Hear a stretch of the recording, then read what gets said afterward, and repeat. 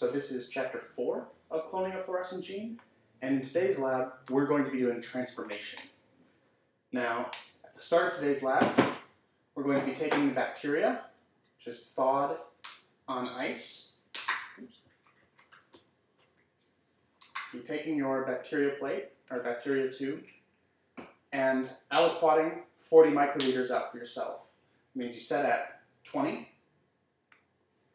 and take, mix the bacteria a little bit to make sure it's nicely mixed, and take two 20 microliter aliquots. One,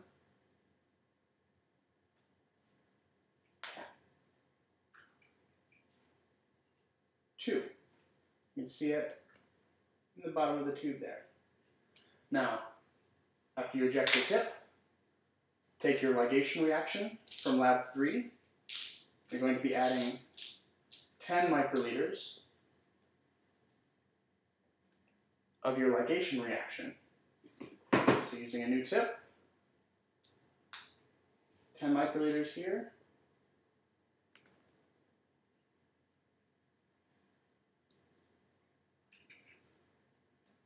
Add it into your bacteria, pipetting up and down a little bit to mix them together.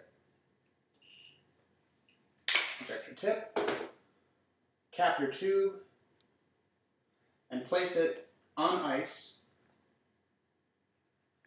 for 20 minutes. Now that your bacteria have been sitting on ice for 20 minutes, you can remove them from ice and put them directly into a 42 degree water bath. We're going to be counting to 60.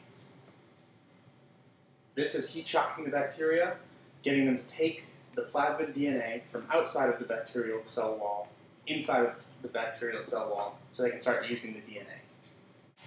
Now that your time is up, you're going to be removing your tubes from the water bath, placing them directly back on ice. And when you're ready, take your first tube with your bulb pipette, your socks buffer, which does not contain an antibiotic, squeeze down the bulb to eject some air from it, and you're going to be pulling up 500 microliters. That's the second major tick mark. You can pull up a little air into the end of the you can pull up a little air into the end of the pipette. Pop open your tube and add your or add your SOX buffer on top of the bacteria.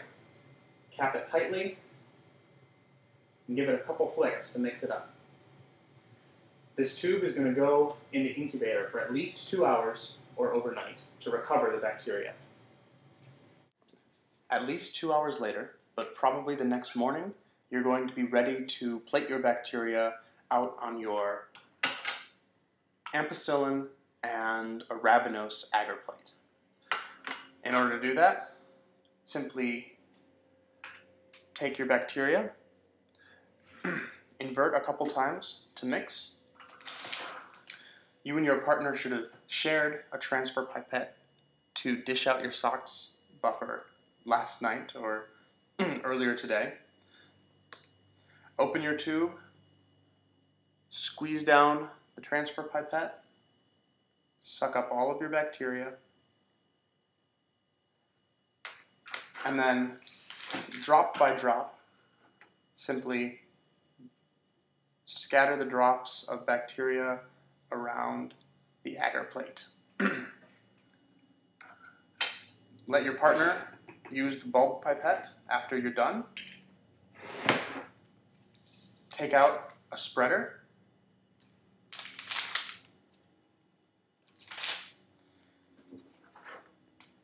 And simply work the bacteria into the agar. Helps to turn the plate as you spread the agar into the plate. Or sorry, spread the bacteria into the plate until it's all absorbed. when you think you've done enough spreading, throw your spreader away.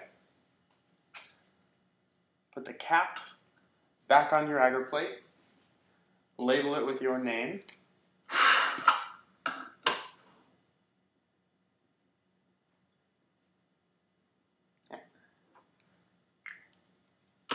Notice that I labeled it on the agar side after flipping the plate upside down. And flip the plate back over. Let it sit for about one minute to have all of the liquid absorb into the agar. Then reflip the plate, put it into the 37 degree incubator overnight to let your colonies grow. Good luck.